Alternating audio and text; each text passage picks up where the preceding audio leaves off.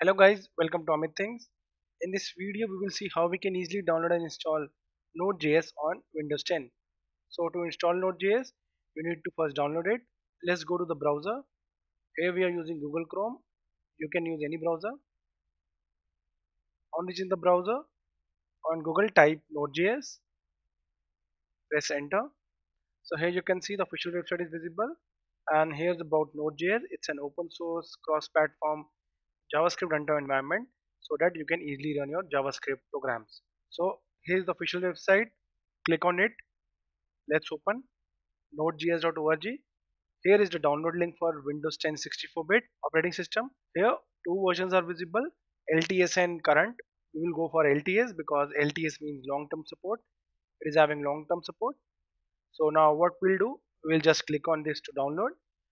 We will also add the download link to the description so that there won't be a problem for you. Now we'll click to download. So the current version is 12.19.0 let's wait for a few seconds. So guys on the left bottom node.js file downloaded exe file.msi now click on the arrow to open. Let's minimize this. So guys the installation started. You just need to click on next accept the license agreement. If you want you can read it. Click on next. Here the path wherein node.js will get installed. If you want to change the path just click on change and here set the path wherein you need to install node.js I'll click on cancel and keep the same path. Now click on next. Here you can see the custom setup option is visible. Node.js runtime. Yes we want. We want the npm package manager also. As well as we also want it to get added to path. So keep all as it is now click on next now here keep the default and click on next install after clicking install the installation will begin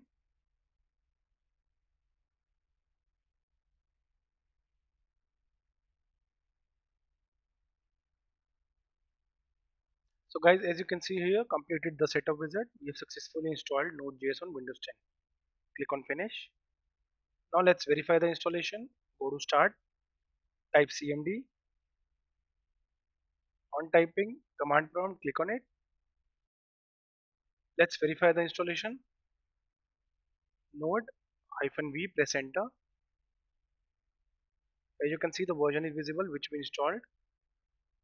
Now let's check for package manager. Here is the version for package manager. Now let's print something node press enter as you can see let's print something.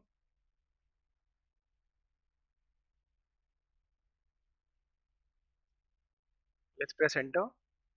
On pressing enter as you can see we have successfully printed the console log on cmd so guys in this video we saw how we can easily download and install node.js on windows 10 so we installed version 12.9.0 thank you for watching the video. If you liked it do not forget to subscribe to our channel amit thinks